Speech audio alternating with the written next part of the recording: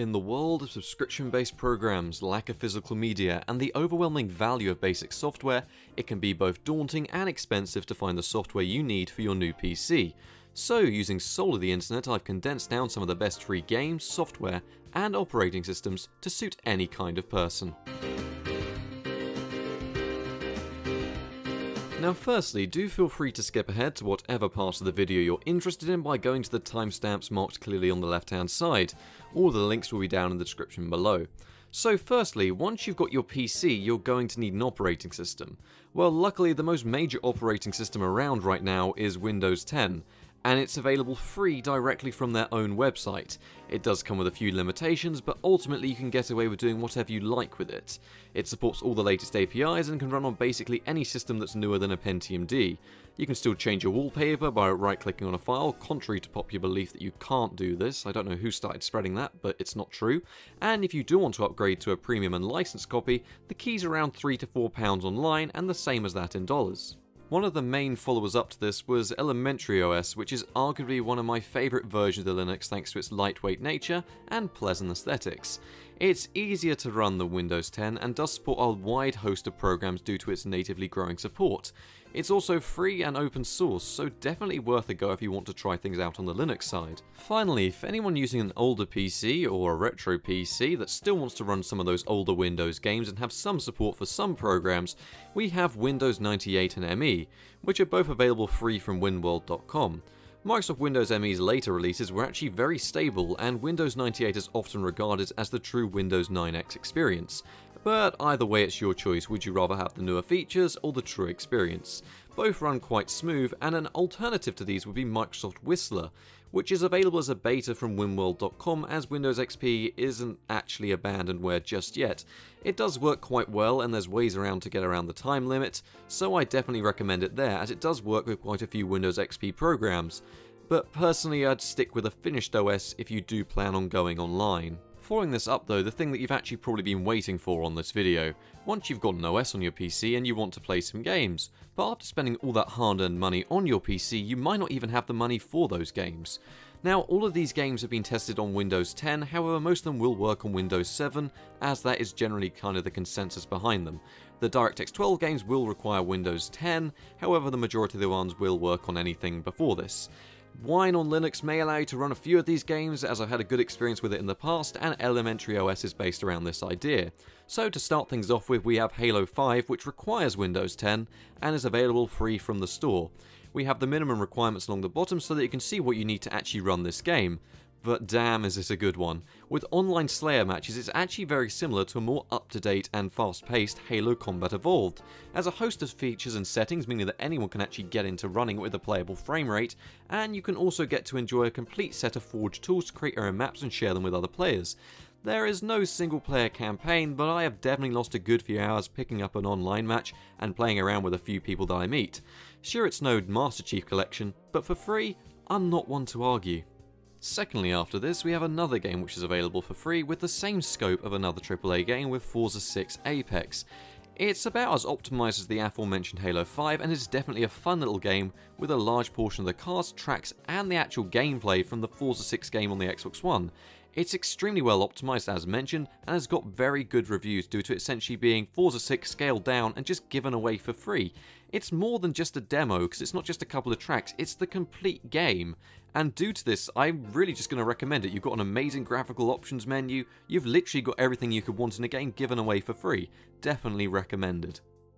But those games are arguably one of the harder games to run here, so I decided to test out an amazing game with Battlefield 2, which also comes with Battlefield 2142 in case you want to play that instead. I mean, it is definitely freely available through the Revive player and is very popular online today. You are only required to make an account, and what can I say, being thrown straight into a 64 player conquest match all at the push of a button certainly is something amazing for a free to play game.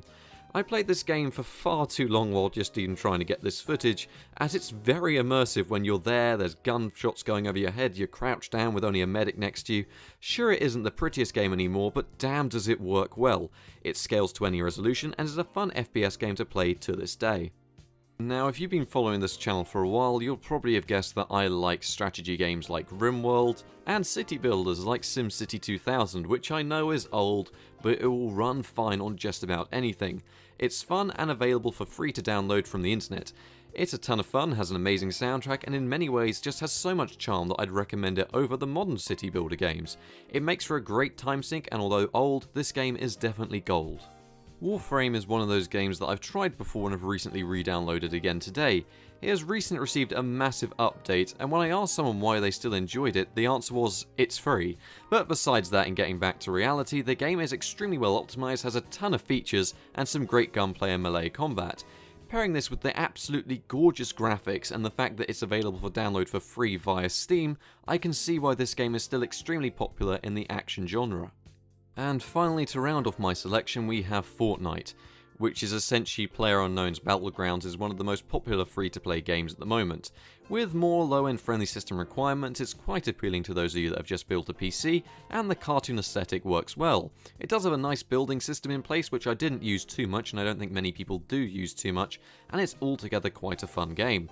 Considering I had no idea how to play it, I picked it straight up from the moment I started playing it, and it's available free through their launcher.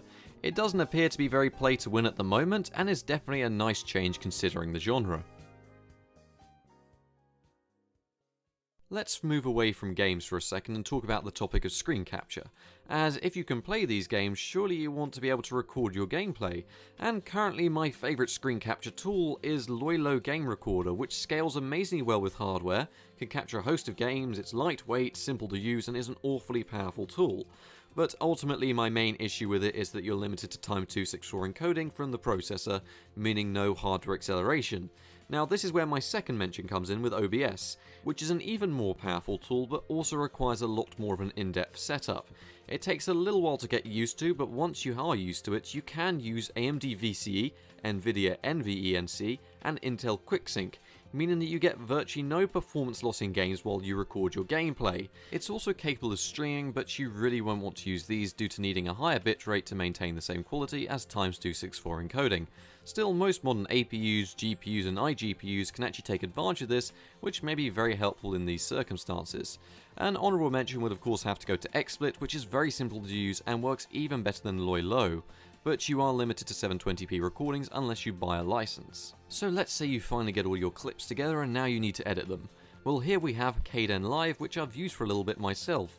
And well, it's very nice for what it is. It's a simple, free, easy to use editor, and although it's not as proficient as Serif Movie Plus or Sony Vegas in terms of features, it's free and runs well on most PCs, and more importantly will work well with Windows, Linux or Mac OS X, making it perfect for as much diversity in your Minecraft Let's Play community which is why I'm sure all of you guys are here, because if not, I've made the wrong video. But seriously, no matter what content you're making, with enough effort, you'll definitely be able to make this stuff really quite nice.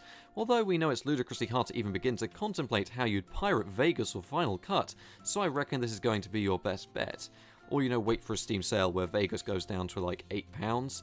There are other three editors out there like HitFilm which we limited to 720p, but it is a very good editor that was recommended to me over on Discord, so that's also recommended. For just clipping parts together, I'd suggest grabbing a copy of Movie Maker Live from the Microsoft website, which should still work and can output all the way up to 1080p and 60 FPS. And finally, nearing the end of the video, we have the miscellaneous software that I like to use. So for the likes of temperature checking software, I would recommend Open Hardware Monitor. It's lightweight, you don't need to install it, and it even lets you control your PC fans, so that you can set them all to 100% and question your life for even doing this. No doubt this goes hand in hand with benchmarking, for which I recommend the 3D Mark demos from Steam, which allows to run a host of tests and will record your scores for comparison online. For overclocking, I'd like to recommend MSI Afterburner, as it has a host of features that allow you to increase the power limits, extend the clock limits, all while keeping tabs of your temperatures, and if you have an AMD card then I can vouch for AMD Wattman which comes with your drivers, but for the vast majority of the people that don't have access to Wattman, I can say use MSI Afterburner, as it's the quick and easy way to go. For minor software and little pieces, I recommend Discord for talking to people, as well as CPU and GPU-Z for finding out in-depth information about your hardware. I'd also like to recommend DXDiag, which comes built in with Windows, as it's way more than enough to find out what's actually in your system, and it just comes there built in with Windows. 7-zip is great for opening and compressing programs, and Rufus is a great way to go for putting operating systems onto a memory stick, as once again it is lightweight and will work without an install. VLC for media playback is very good and it can also convert your files. Oh, However, I'd suggest using something a little bit more advanced like Handbrake as you can convert batches of files with more control. Fraps is great for monitoring your frame times, and Paint.net or GIMP are both free imaging editing softwares, which you may need if you like to make images or edit images. And finally, my last recommendation is Audacity for audio work, which is what I use all the time. So I hope this video has been useful to you and that you've found some programs that you may like to use, as well as the games you want to play once you've got an operating system which was also included in this video. Thank you very much for watching, good night. So I thought this video could help out some of you as I'm always being asked about software. You can always catch me over on the Discord, download the programs from the link in the description, like and subscribe for more, and I'll catch you guys in another video.